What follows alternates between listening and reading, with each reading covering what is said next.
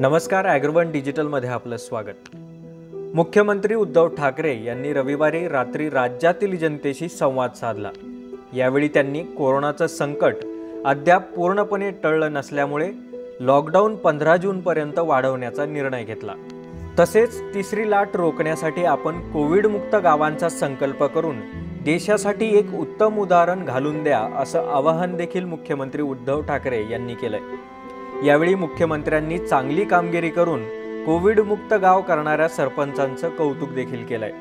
यामध्ये त्यांनी मोहोळ तालुक्यातील घाटणे गावचे एकवीस वर्षांचे युवा सरपंच ऋतुराज देशमुख यांच्यासह दक्षिण सोलापूर तालुक्यातील अंत्रोळी गावाच्या युवा सरपंच कोमलताई करपे आणि हिवरे बाजारचे पोपटराव पवार यांचाही उल्लेख केला आहे ही युवा मुलं आपलं गाव कोरोनामुक्त करू शकतात तर आपण का नाही असं देखील मुख्यमंत्री म्हणाले सरपंचांचे कौतुक करताना नेमकी मुख्यमंत्री काय म्हणालेत ते पाहूयात.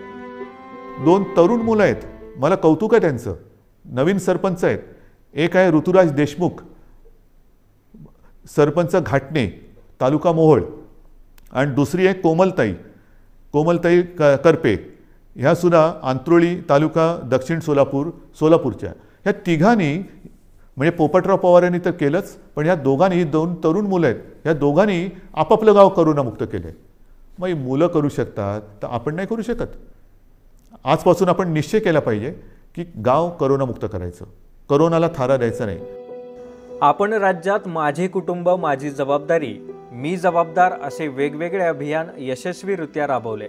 आता शहर आणि गावांनी ठरवले तर आपण कोरोनामुक्त गाव आणि कोरोनामुक्त शहराची संकल्पना यशस्वीरित्या राबवू शकू. यासाठी प्रत्येक घर प्रत्येक गाव आणि प्रत्येक शहर कोरोनामुक्त झालं तर राज्य कोरोनामुक्त होईल असंही मुख्यमंत्री यावेळी म्हणालेत. त्यामुळे प्रत्येकानं कोरोनामुक्त गावाचा संकल्प करावा असं आवाहन देखील त्यांनी केलंय. राज्यात दुसऱ्या लाटेतील रुग्णसंख्या ही सदुसष्ट हजारांहून चोवीस हजारांनी एवढी कमी झाली आहे. तरी देखील धोका अजून टळलेला नाही. त्यामुळे सावधानगिरीनेच पुढे जावं लागणार असल्याचं मुख्यमंत्री म्हणालेत. पुढील पंधरा दिवस राज्यात लॉकडाऊन कायम राहणार असल्याचं जरी सांगितलं असलं तरी जिल्ह्यातील कोरोनाची स्थिती लक्षात घेऊन नियम शिथिल करणार असल्याचंही त्यांनी म्हटलंय. दरम्यान कोरोनाच्या संकट काळात या युवा सरपंचांचं काम कौतुकास्पद आहे. आपलं गाव कोरोनामुक्त करून त्यांनी एक आदर्श घालून दिलाय. याच युवा सरपंचांचा आदर्श इतरही गावांनी घेऊन आपलं गाव कोरोनामुक्त करण्याचा संकल्प करावा. Bureau report Agrowon digital. कपाशीला ठिबक बसवायचंय. तेही जगातलं नंबर वन नेटाफिमच हे पहा नेटाफिम ठिबकमुळे होणारे फायदे. कपाशीची पूर्व हंगामी लागण शक्य. कमी पाण्यात एक समान आणि उत्तम उगवण. फूल आणि पातींची भरपूर संख्या.